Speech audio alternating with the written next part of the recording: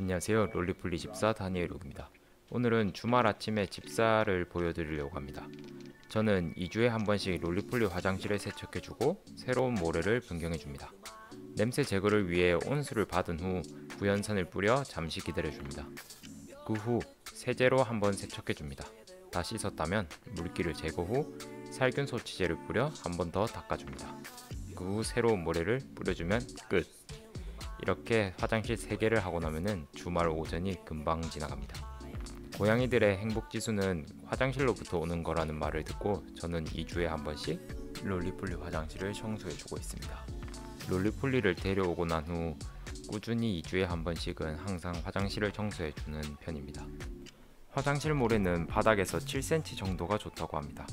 그래서 저는 이글루 화장실에는 10kg 그리고 일반 후드형과 이케아 화장실에는 7kg 정도를 부어주는 편입니다.